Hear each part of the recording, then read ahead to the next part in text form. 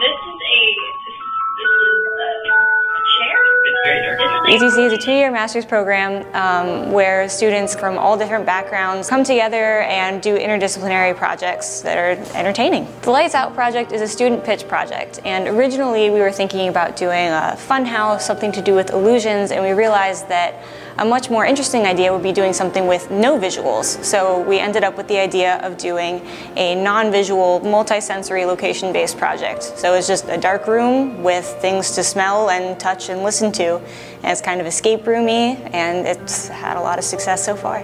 We just wanted to explore uh, because our current creative industry heavily focuses on a lot of visuals and a lot of sounds, but why not touch, smell? Because we know that all the senses work together to create an experience. My background is in psychology research.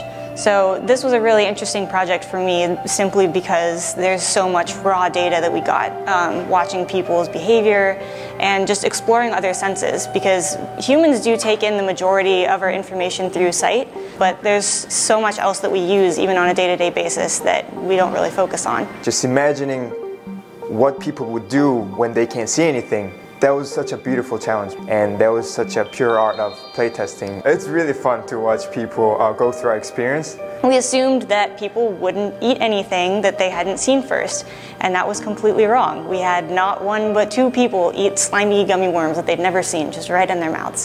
So that was a fun thing that we learned as well. People are very brave. I'm too short. Just seeing people react to what we created, it's been super fun.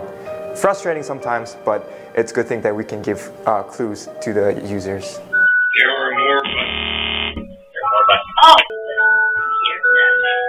On the desk. What is it? On the desk. There's buttons. Time to strap.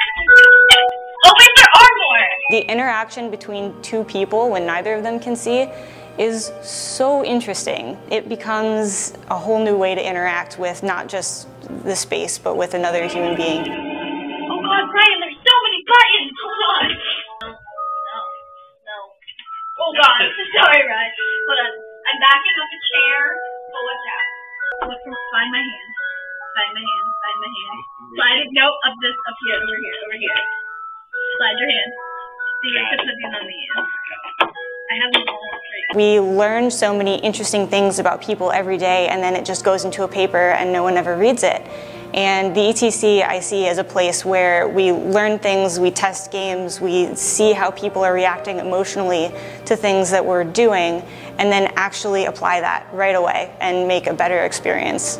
Hopefully, we'll be able to build something bigger and better someday. We'll see.